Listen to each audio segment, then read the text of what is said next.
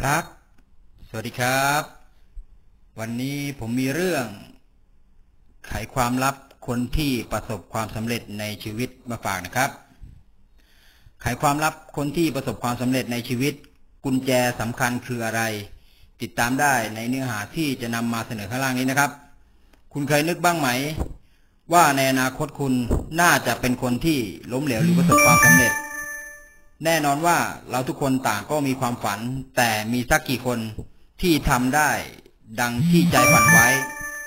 มีคนจำนวนไม่น้อยทีที่ละทิ้งความฝันเพียงเพราะเจออุปสรรคจึงทำให้โอกาสดีๆ ในชีวิตหลุดลอยไป และนี่คือสิ่งที่ทำให้แต่ละคน มีบ้านปลายชีวิตที่แตกต่างกัน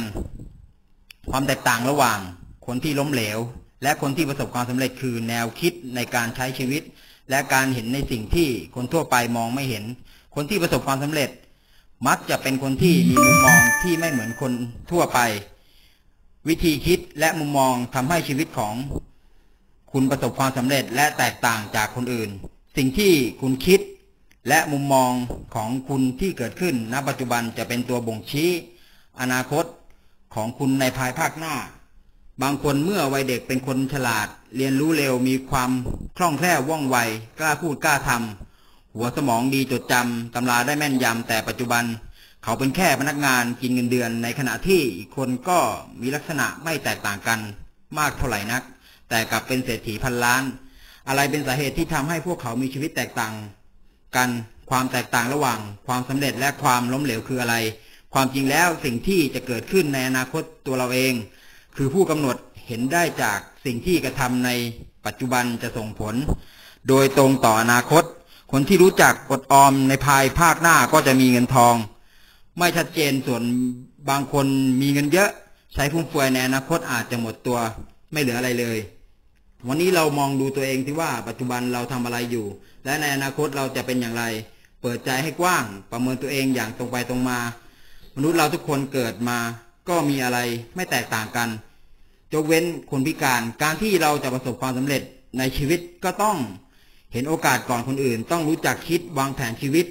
และกำหนดเป้าหมายให้ชัดเจน เวลาผ่านไปรวดเร็ว อย่าสัตสัต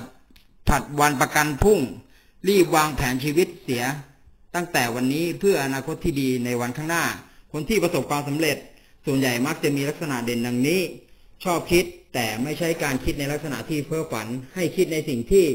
น่าจะเป็นไปได้มองเห็นในสิ่งที่คนอื่นมองไม่เห็น นี่คือเคล็ดลับเศรษฐีร้อยล้าน มีทัศนคติที่ดีและเชื่อว่าสามารถเป็นไปได้ ความเชื่อจะทำให้ทุกสิ่งเป็นจริงและเป็นไปได้ ไม่ตีกรอบตัวเองให้อยู่จุดเดิมรู้จักมองโลกในให้กว้างขึ้น หาสิ่งใหม่ๆ เข้ามาในชีวิตเพื่อโอกาสที่ดีกว่า มีจุดมุ่งหมายชัดเจน และเดินหน้าตามแผนที่ตั้งไว้อย่างจริงจัง ไม่เห็นปัญหาเป็นเรื่องใหญ่ เพราะปัญหามีไว้ให้แก้ และหากทำได้ก็คือเราอยู่เหนือปัญหา มีจุดมุ่งหมายที่ชัดเจนและเดินหน้าตามแผนที่ตั้งไว้อย่างจริงจัง ไม่เห็นปัญหาเป็นเรื่องใหญ่ เพราะปัญหามีไว้ให้แก้และ หากทำได้ก็คือเราอยู่เหนือปัญหา มันสำรวจตัวเองอยู่เสมอ รู้จุดอ่อนและจุดแข็งของตัวเองจะทำให้เรามองเห็นจุดบกพร่องที่ทำให้เราไม่ประสบความสำเร็จ ชัดเจน มีความกระตือรือร้น หรือความมุ่งมั่นในสิ่งที่จะทำเห็นคุณค่าและรักในงานที่ทำสิ่งเหล่านี้ จะทำให้เราประสบความสำเร็จได้อย่างชัดเจนนะครับ วันนี้ผมจบวันนี้นะครับ สวัสดีครับ